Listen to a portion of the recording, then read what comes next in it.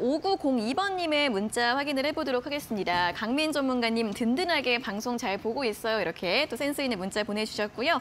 종목은 셀트리온 헬스케어 매수가가 8만 2천 원에 15% 손실 중인데요. 매수가까지 올 수 있을지 상담 부탁드려요. 라는 문자를 보내주셨습니다.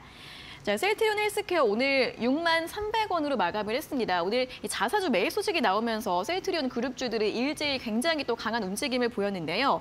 하지만 또 이렇게 추세 상승으로 돌릴 수 있을지 참 그룹주들이 좀 거- 걱정이 많으실 것 같아요. 어떻게 네. 봐야 될까요, 전문가님? 어, 일단은 오늘 이거는 자사주 매입에 대한 부분이 뭐 투자 수급이 좀 약간 좋아졌다 이런 부분도 물론 있겠지만 네. 저는 자사주 매입 자체가 이게 무조건 뭐 올라간다 이렇게 보기보다는 음. 아 그냥 이제 살짝 긍정적이구나 회사에서 좋게 생각하구나 요 정도만 가볍게 생각을 아, 하시고요. 네. 셀트리온 헬스케어는 좀 제가 잘 아는데 네. 왜냐하면 작년 연말에 뭐 엔터주라든지 바이오 중에서 올해 괜찮은 하반기에 괜찮을 거 상반기가 아니라 하반기에 괜찮을 수 있는 회사가 바로 셀트리온이다. 어. 셀트리온이랑 삼성바이오로직스. 네. 요건 또 아- 알아두시면 좋을 것 같은데 6월 30일 정도에 그 휴미라라고 미국 이제 그 약품이죠. 네. 그게 이제 라이선스가 끝납니다. 음. 끝나게 되면 이제 복제를 잘하는 복제 이제 어찌 보면은 강한 회사. 셀트리온이죠. 네. 네, 복제약 잘 많은 이 셀트리온에서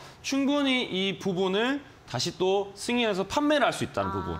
그러면 하반기에 실적이 되게 늘어나거나 괜찮을 수 있거든요. 음. 그럼 지금 주가는 어찌 보면은 기술적인 거나 단기적인 매매로 봤을 때는 지금 상당히 이제 좀 침체되어 있고 거의 이제 바닥이라고 보시면 되는데 음. 이게 장기적으로 봤을 때는 제가 봤을 때는 매달 조금씩 모아도 나쁘지 않다 이렇게 말씀드리고 지금은 좀 많이 답답하실 거예요. 네. 저도 이거에 대해서 실질적으로 방에서 이 얘기를 많이 했던 종목이고 오늘도 심지어 이 얘기를 했어요.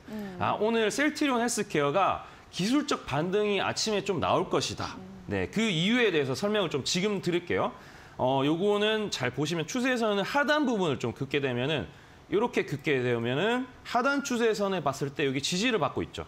네, 지지를 받고 있는데 여기 만약에 오늘 깨졌으면은 셀트리온은 한동안 좀 많이 밀릴 수도 있- 있겠다 생각했는데 다행히 이 부분을 네, 지지받고 바로 반등이 나왔다. 네. 예, 코스닥 지수가 좋았고 그다음에 시초, 시, 시, 시가총액 상위 종목 중에 대표적인 셀트리온 헬스케어가 강하게 움직이고 또 기간 매수가 상당히 많이 들어왔어요.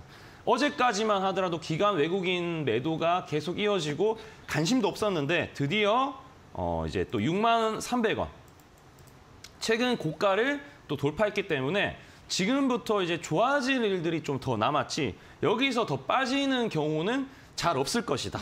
이렇게 좀 판단이 들고 일단은 이게 하반기에 이슈가 좋기 때문에 상반기에는 좀 마음을 좀 내려놓고 지금 비중 15%시니까 어, 15% 정도는 그냥 가만히 냅뒀다가 이게 추세가 좀 흐름이 타면서 7만 원, 8만 원 정도 왔을 때 그러면 이제부터 그때 가는 거거든요. 네. 그러면 그때 이제 추가 매수하시면은 평균 단가 바로 낮추면서 수익까지 연결이 될 수 있으니까 그때 노려보시고 지금은 차라리 다른 종목들 어, 매매를 좀 하시다가 네, 그쪽으로 비중을 하다가 나중에 이게 좀 부각이 받을 때 어, 그때 하시면 좋지 않을까 이렇게 생각이 됩니다. 네, 좀 길게 보자라는 전략을 제시해 드렸습니다. 올해 하반기에 좋을 종목으로 꼽아 드렸고 지금이 좀 바닥권인 것으로 보이고 그리고 이제 좀 상승이 나오게 될 경우에는 추가 매수도 가능할 것 같다라는 의견 종합적으로 드렸으니까요. 어, 조금 더 보유하시면서 앞으로의 대응 전략 긍정적으로 세워 보시면 좋겠습니다.